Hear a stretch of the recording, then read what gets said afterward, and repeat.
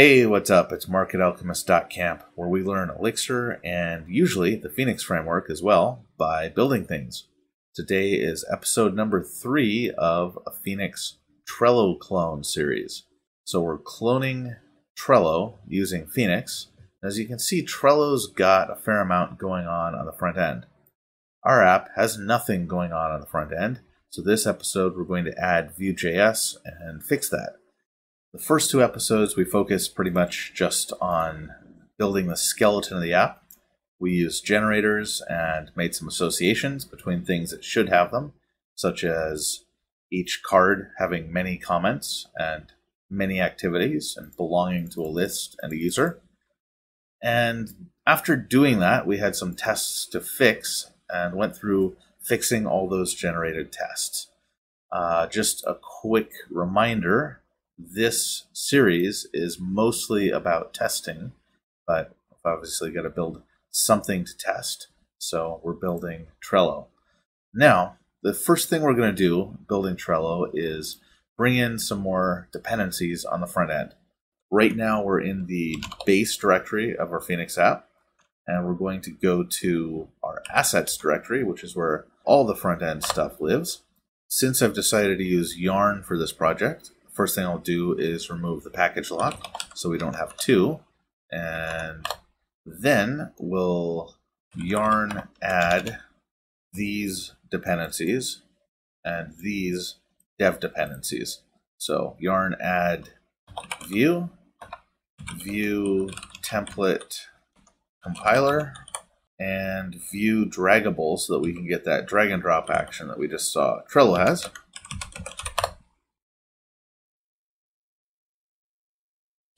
This will take a moment to install, so I'll pause the video. Then we'll add the dev dependencies. So that's yarn add dash dash dev. See, actually, we've got the CSS loader, node sass, sass loader, uh, and this is just for the CSS preprocessor that I've chosen to use. Vue loader and Vue style loader. Once again, I'll pause. That's done. Let's have a look at our package JSON. We'll bump the version of our CSS loader, and then we should be good to go. So save that and yarn install, or just yarn. Then we need to go to our Webpack config and make some adjustments so that we can use Vue. So first thing we'll do is const Vue loader plugin equals require Vue loader. We'll add a rule for that right after our JavaScript rule. So we'll match anything with a Vue extension. Let's get the, the regex right there. Let's see, terminates dollar, and yeah, looks just like the others.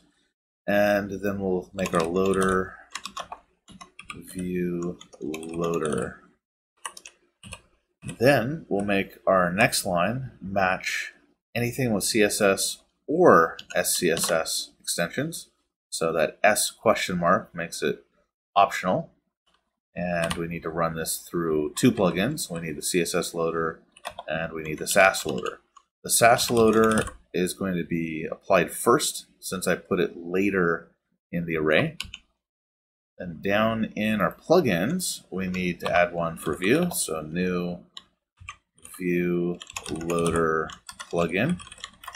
We need another comma up here. And then finally, we need a resolve section. So resolve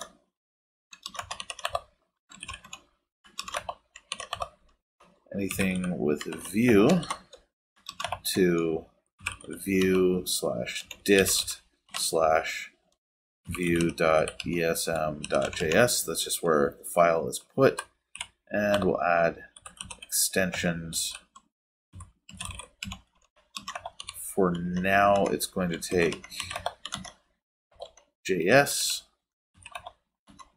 dot vue and finally dot JSON. And that should be good to go, although one can never tell with these things. So let's update our app.js and first test the SCSS and then we'll test Vue. So uh, phoenix.css is not going to change. App.css we're going to rename to app.scss and our Webpack setup should use this app.scss in our assets directory to generate the appropriate app.css in our priv directory, which is where the uh, assets get get uh, output to. Now, next step is app.js. It's pretty empty here. We're going to get our CSS from app.scss. We're also going to import Vue at the very top. So import Vue from Vue should be available thanks to our Webpack setup. And then we'll stick Vue on the window so that it's easy to access from our terminal. So window.vue equals Vue. Save that. And in our app.scss file, let's just add something really simple so that we know that we're on the right track. We'll make an SCSS variable, call it some color. We'll set that to uh, papaya whip just because. Then the body, we'll set the background to some color. So background, some color. If everything's set up correctly, we should be able to see the body update its color. So iex-s mix phoenix.server. We've got to be in the correct directory though. So iex-s mix phoenix.server and reload it. Exactly what we wanted. We should also have hot loading working out of the box, so we'll try uh, turquoise, see if that works. Yep, excellent. Pale turquoise, I believe, is one as well. All right, so all that is good. Let's go back to BioWet, save that. And the next step is to make sure that Vue is there. We have Vue. We do, once the document loads. All right. So in our app.js, we're going to import our Vue app that we haven't written yet. Uh, that's going to be from app.vue. And then we're going to wait for the document to load and put that app on the document. Document dot add event listener dom content loaded. That's going to be we'll look for an element with an ID of boards. So document query selector boards and then let's set that on the window as well. We'll probably remove this line later. Window.l equals L. If the element is not undefined or null, then const app equals a new Vue component. That is too much information VS Code. L is going to be the L we created. Data is going to be lists json.parse l.dataset.lists. So that way we can set the lists in the HTML data of that element and uh, Vue will have access to all of them. And template is just going to be app lists equals lists. And components are just going to be app, and that's it. Our app.vue file is going to be pretty straightforward. At the top of our Vue app, we'll have a template. Inside of that, we'll have a single div with the ID of app. Then we'll have a div that's a v-for that loops over all the lists we passed in. And each of those lists will have, for now, let's just give them the name or the title, and that's it. So for h1 here is going to be whatever the name of the list is. So list.name. And this div is going to be a v-for, which just loops over the list. So it looks kind of like a, a list comprehension. List in lists, v-bind key, which we have to set, is going to be list.id because we know that's going to be unique. That's pretty much it for our template. Then we'll add a script. The script will export default props lists. The next question is where will we show all the lists? Since I already decided in the first episode to only have one board, I think it makes sense just to go to the root of the app. So we'll just have all of our stuff there. And of course, if you were to extend the app and build out more boards, then you just uh, add a, another route for boards. So let's go to our, our main page. So that's going to be in page index.html.eex. And we're just going to get rid of almost everything. Let's see, do we want the article? Yeah, we'll keep the article. We'll keep that as class column. Uh, we'll have a section with an ID of boards. And then everything else will pretty much get replaced when we, we mount the Vue app. Just leave one article in there as we see. Then we can add a data attribute to pass the lists into Vue. So we'll just say data lists.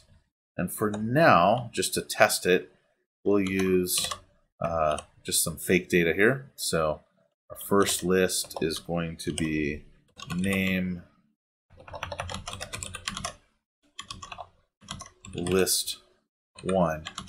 And we're not going to give it a position or anything else. And then our next one will be name other list. And then close the array. And we should see something pop up. Very good. List one, other list. So we've got Vue mounted and all of that's working. Me just move this down here so it's a little easier to see everything. Now the next step is to actually get the data we want out of the database instead of just feeding Vue dummy data. So let's start by using some of those generators we made last episode and the one before. So we'll go to users and we'll create a new user. This one is just going to be called uh, somebody. And then we'll create a new list. Make a new list Oh, they only have name on them. Let's uh, let's go back to our schema for lists. So lists also have positions, which we added later, so that's not in the form. They also belong to a user. So we'll go to list form, and we'll remedy that problem. So we've got a name, and then we've also got a position. The position is not a text input, it's a number input. And then we have a user ID, which we'll also just use a number input for. So position user ID. And with that, we should be able to create a list. Our first list will be called ideas. And we're not going to fill in a position. That'll just be something we'll update later if the user changes it. And user ID, that just says, yeah, user, user ID is displayed as user.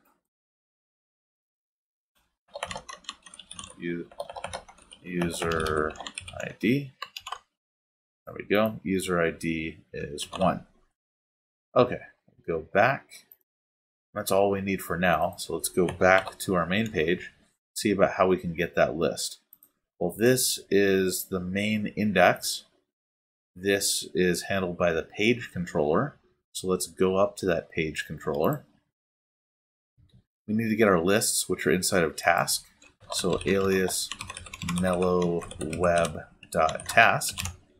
And then inside of this index, we'll get our lists. So lists equal task.list lists.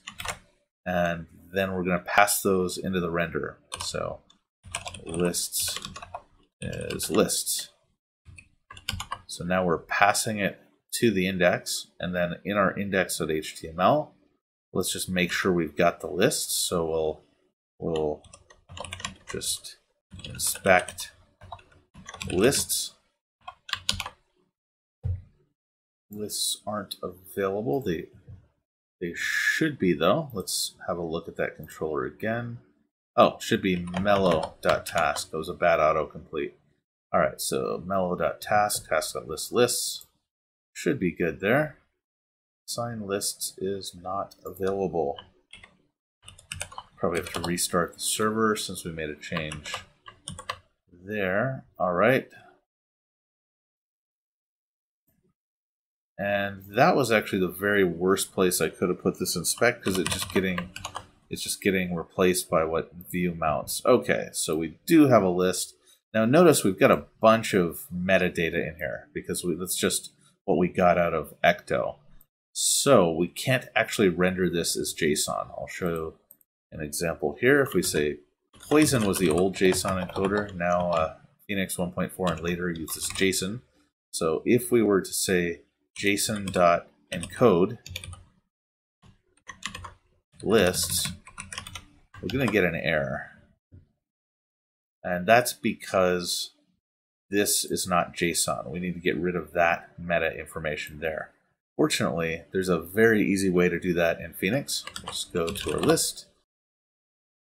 There's already a protocol that's been written to help us do exactly this. So derive Jason.encoder, or if you're using Poison, Poison.encoder works the exact same way in this case. Only, so the, we're specifying the only fields we want encoded are name, position, and user ID. Notably, we're not going to be encoding any of this metadata related to the struct itself or to ecto associations that are or are not loaded. So we're not doing anything with the belongs to, we're just getting the user ID. With that saved, we should be able to reload our app. And there we go. So name, ideas, position, null, user ID 1. Okay, great. So how do we use it? All we need to do is get rid of this inspect and then take this block and replace our dummy data with it.